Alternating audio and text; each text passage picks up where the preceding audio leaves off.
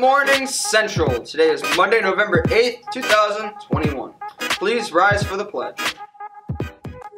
I pledge allegiance to the flag of the United States of America and to the republic for which it stands, one nation, under God, indivisible, with liberty and justice for all. Powderpuff is right around the corner. It'll be held on Wednesday, November 10th at 7 p.m. Tickets are $4 and concessions will be available. Come out and support your Vikings. Our first host of blood drive will be Friday, November 19th. A representative from One Blood will be here on the 9th, 12th, and 16th to register, to register donors. You must be 16 to donate, and if you are 16, you will also need a signed parent permission form. If you have any questions, you can see Mrs. Jones in room 204. NTHS will be having a meeting for seniors and juniors on Monday during Reconnect in the Media Center. Please plan to be there.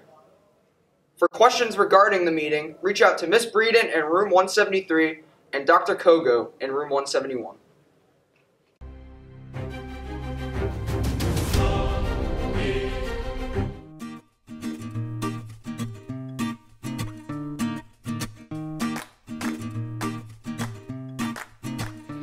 Central, today we're going to learn more about the Mexican tradition, El Día de los Muertos. Are you ready?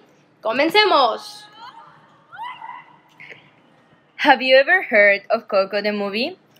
Do you know what is the theme of the movie? Coco is a movie based on this particular tradition, where people remember their loved ones who have passed away. It is celebrated every year on the 2nd of November. It is celebrated in Mexico, Ecuador, Guatemala, and other areas in Central and South America.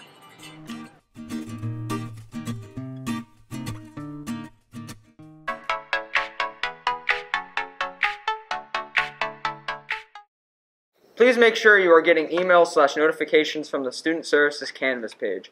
Mr. Wachowski is sending out weekly scholarship reminders, college admissions visits, and other important senior information. Log into the Student Services Canvas page for more updates.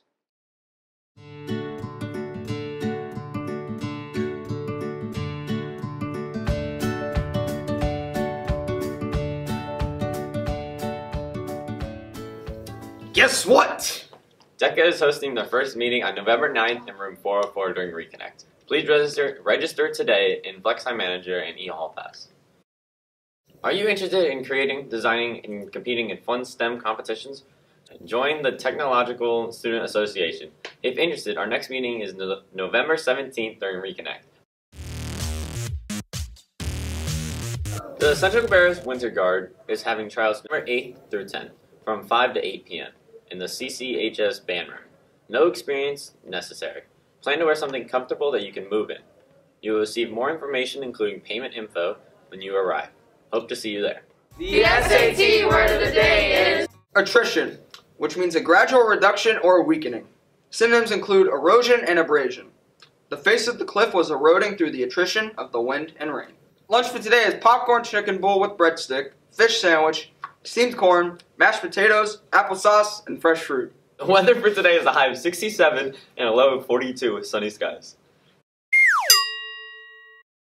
If athletes get athlete's foot, what do elves get? I don't know. What? Mistletoe.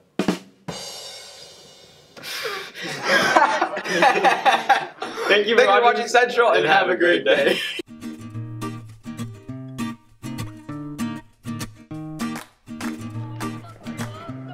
Do you know what is an altar?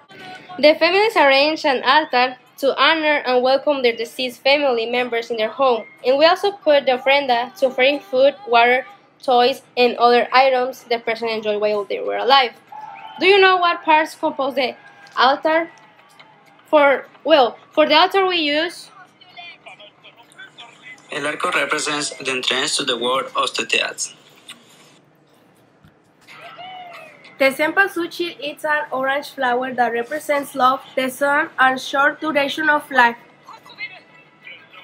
The veladora that means life, fight, and hope to guide the souls to come back home.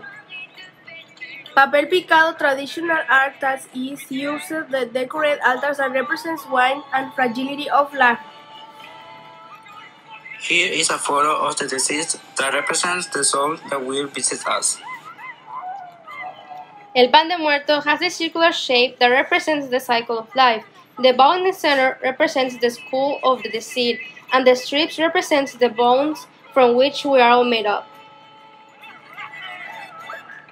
Calaveras de azúcar represents the honor and memory of the people who are no longer with us.